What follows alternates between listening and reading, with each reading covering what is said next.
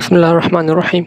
رح نبلش بإذن الله بالمحاضرة الثانية من ورشة مهارات البرمجة بالماتلاب والربط مع العتاد الصلب أه شفنا بالمحاضرة الأولى كيف ممكن أربط ما بين الماتلاب والمتحكمات عن طريق المنفذ التسلسلي. طبقنا مجموعة من المشاريع البسيطة. تعرفنا على بروتوكول اتصال تسلسلي وعلى بنية البروتوكول. شفنا خصائص بروتوكول اتصال تسلسلي أنواع الاتصالات. شفنا آه، آلية تبادل المعطيات عن طريق ال frame. شفنا بنية المنفذ التسلسلي أنواع الكابلات. والخصائص اللي لازم أضبطها عند إجراء الاتصال التسلسلي. okay.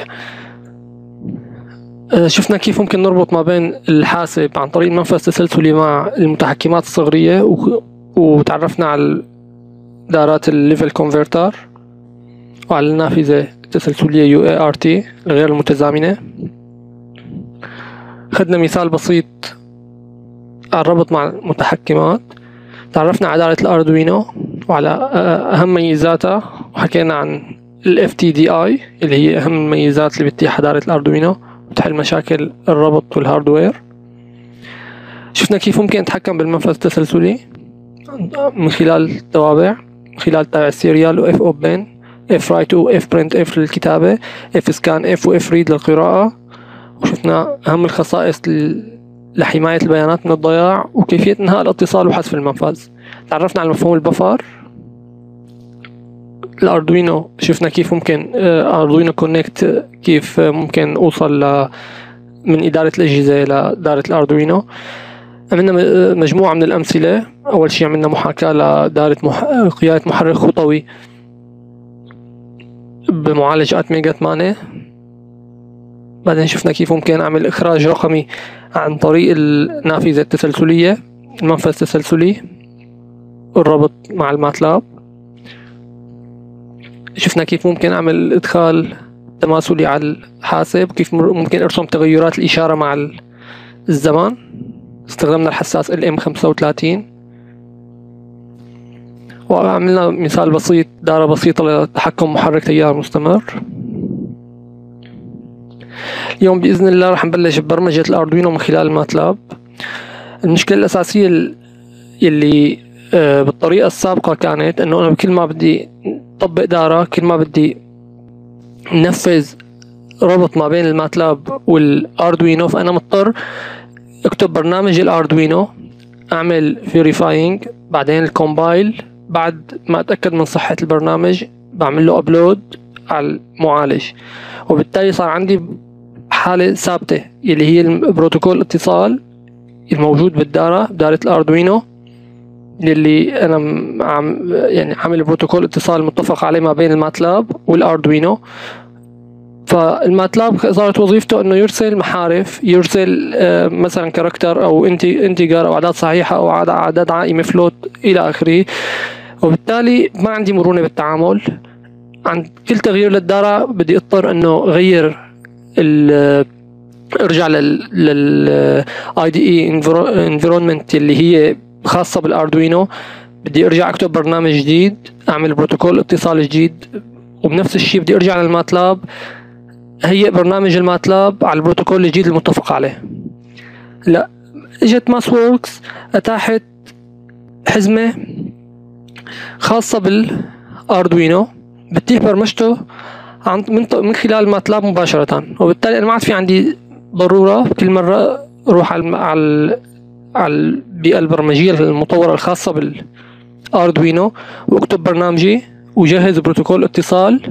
صار عندي إمكانية إنه راح أحط حزمة لمرة واحدة بالأردوينو.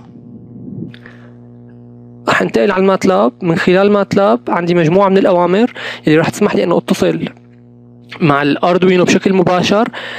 راح تسمح لي بالإدخال والإخراج الرقمي الإدخال والإخراج التماثلي راح تسمح لي بقيادة أنواع مختلفة من المحركات بالإضافة لميزات كتيرة وكل هذا رح يتم بلغة الماتلاب بالأسطر البرمجية بالماتلاب رح استفيد من كافة الخصائص آه، رح استفيد من كافة التوابع الموجودة بالماتلاب من كافة الأدوات من كافة كل شيء متاح بالماتلاب صار عندي ممكن استفيد منه.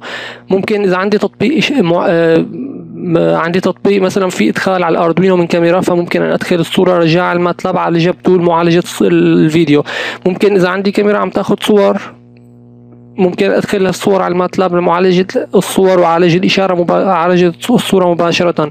ممكن يكون عندي إشارة سرعة عندي حدود لتيار مثلا عم يستجره حمل. فكمان ممكن أنا أحط حساسات عم تدخل لي آه، قيمة التيار اللي عم يستجر من قبل المتحكم بشكل لحظي.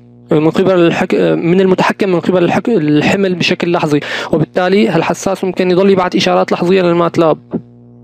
الماتلاب إذا كنت مبرمجه عند حدود للتيار ممكن يفصل الحمل بأي لحظة. بال...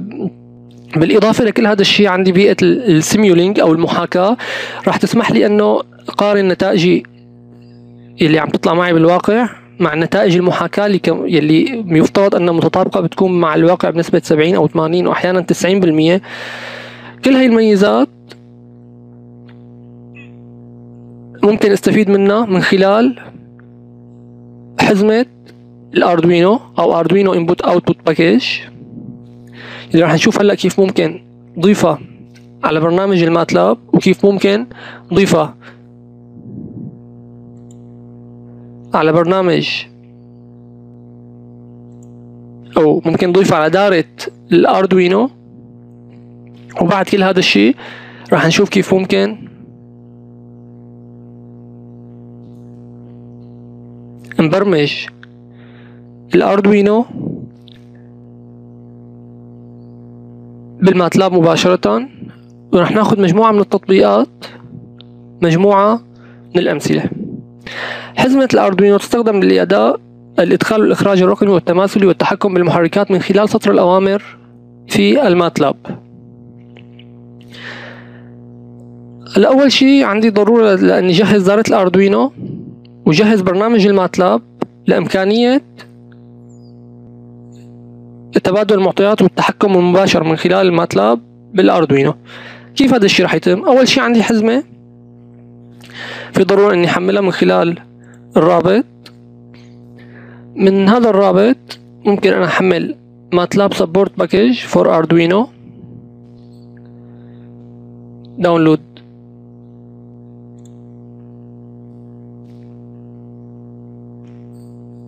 الحزمة راح تحتوي على مجموعة من الملفات. راح نشوفها.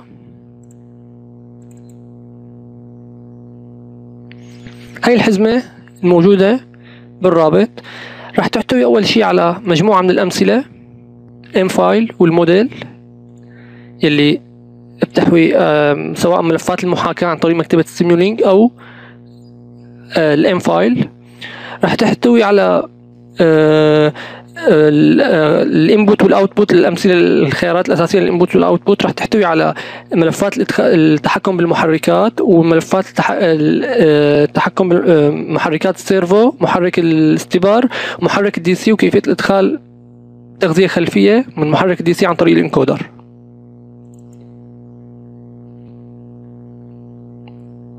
هي هون مكتبه ال Simulink؟ هي صور توضيحية؟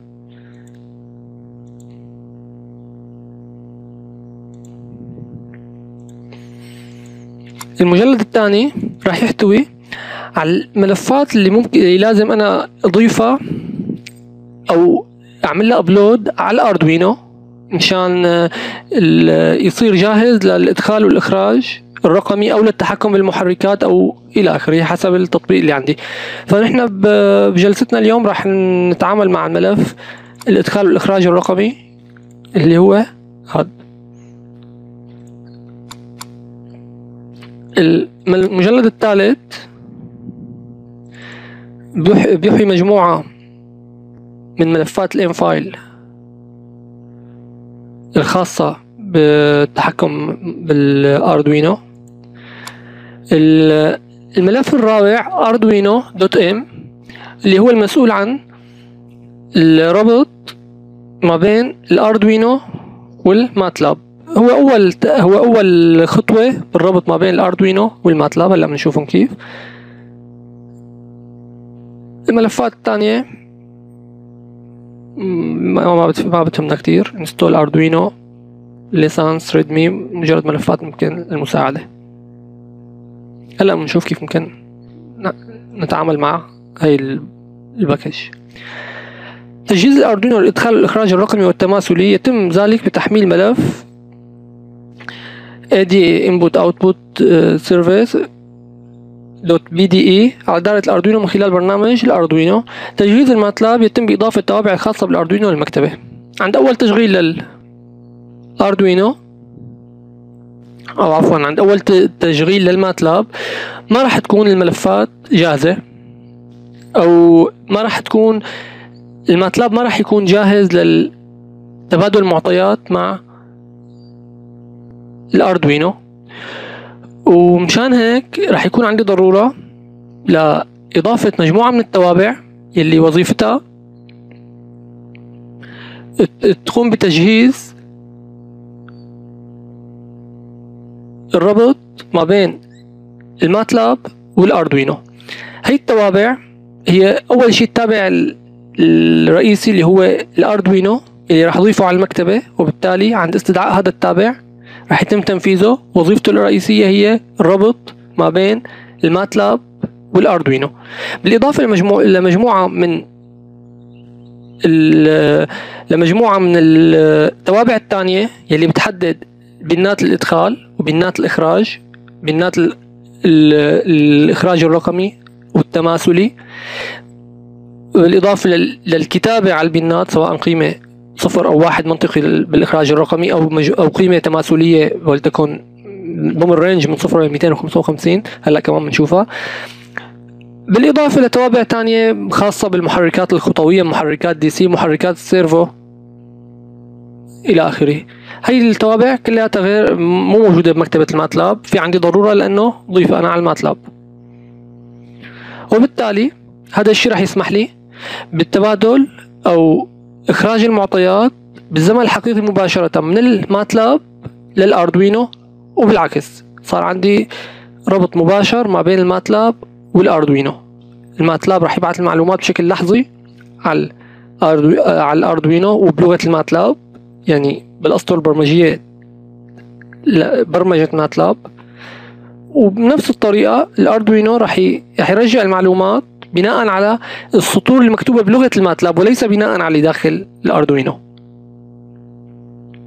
يعني صارت وظيفتي جهز دارتي بس مثلا دارة قياس درجة حرارة وظيفتي جهز دارة ومن الماتلاب له استقبل. ما عاد في ضرورة إنه أنا بالقلب المعالج الأتميجا أكتب برنامج. وظيفة هذا البرنامج يرسل بيانات مثل ما شفنا امبارح. طيب MATLAB vs IDE environment. طيب شو الفرق بين البيئتين؟ استخدام ال MATLAB مباشرة أو مثل ما شفنا امبارح استخدام البيئتين والربط عن طريق منفذ تسلسلي. ال MATLAB أكثر فاعلية يمكن تنفيذ أوامر الإدخال والإخراج لحظيا دون الحاجة للكتابة والترجمة والتحميل والتنفيذ كل مرة مثل ما حكينا بداية المحاضرة. الكتابة من الماتلاب الكتابة في الماتلاب أكثر سهولة للفهم من الكتابة بالسي. بالفعل الكتابة بالماتلاب جدا بسيطة. البرنامج اللي ممكن اكتبه بصفحة بلغة السي ممكن اكتبه بالماتلاب سطرين لغة عالية المستوى. ممكن نتعامل مع الأشعة مع الصفوف مع المصفوفات. ممكن نتعامل مع المحارف. ممكن نتعامل مع أي نوع من البيانات بسهولة. والماتلاب أنسب للمشاريع المعقدة مثل ما قلنا إذا عندي مشاريع بتلزم معالجة صورة معالجة معالجة إشارة فيديو إلى آخره فهذا الشيء راح يساعد الماتلاب راح يساعد كتير بالاستفادة من هذه المواضيع. بالإضافة الإضافة لإمكانية التنفيذ بسرعة أكبر. الماتلاب مناسب للمشاريع الضخمة الواسعة التي قد تحتاج لتحليل نتائج معالجة الإشارة الحسابات الرياضية المعقدة المحاكاة الإحصاء وتصميم نظم التحكم.